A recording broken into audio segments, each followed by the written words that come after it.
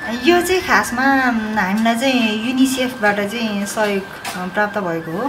यो जडान भइसकेपछि त अब हाम्रो यो ट्याङ्कीमा हुन्छ नि अब यो मेन ट्याङ्कीमै चाहिँ वाटर चाहिँ फिल्टर भएर जान्छ। अनि त्यो चाहिँ यहाँबाट माथिको ट्याङ्कीमा गइसकेर प्रत्येक यो वार्डको इमर्जेन्सीको सबै धारामा चाहिँ सफा पानी चाहिँ हामीले पुर्याउन सकिरहेका छौँ भने अर्को चाहिँ अब यहाँबाट हुँदै यता यो ट्याङ्कीमा गएर त्यो चाहिँ एकदमै शुद्धिकरण भएको पानी जुन चाहिँ हामीले सम्पूर्ण बिरामीको वार्ड भयो इमर्जेन्सी ओपिडी सबैतिर चाहिँ हामीले राखेका छौँ र बिरामीहरू र स्टाफहरू सबैले चाहिँ यहाँको शुद्ध पानी चाहिँ पिउन सकिरहेछ। अहिले चाहिँ अब घन्टाकै पाँच सय लिटरसम्म चाहिँ उत्पादन गर्न सकिरहेको हुन्छ भने अब चौबिस घन्टामा चाहिँ बाह्र हजार लिटरसम्म शुद्ध पानी चाहिँ यहाँबाट फिल्टर भएर आउँछ।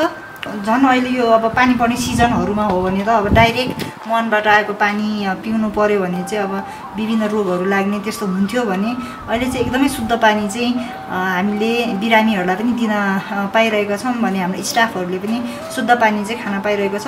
हुन त योभन्दा अगाडि मुहानकै पानी पनि हामीले ल्याब टेस्ट गरेका थियौँ। त्यो पानी पनि खासमा त्यस्तो नराम्रो थिएन शुद्ध नै थियो हाम्रो पानी राम्रो नै थियो। अझ अहिले चाहिँ अब यो फिल्टरै राखिसकेर चाहिँ हामीले एकदमै शुद्ध पानी चाहिँ खान पाइरहेका छौँ।